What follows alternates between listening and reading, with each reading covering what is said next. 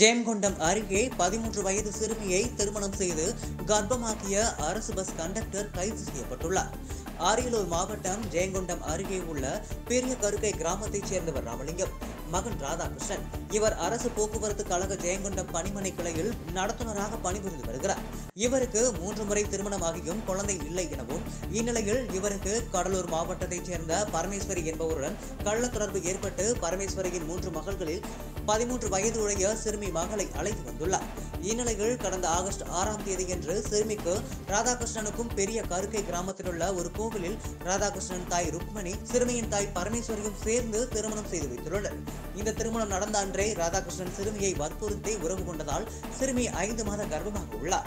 இதுகுறித்து தகவல் அறிந்த அரியலூர் மாவட்ட குழந்தைகள் பாதுகாப்பு அழகு சட்டம் சார்ந்த நன்னடத்தை ஆளுநர் கார்த்திகேயன் ஜெயங்கொண்டம் அனைத்து மகளிர் காவல் நிலையத்தில் புகார் அளித்துள்ளார்.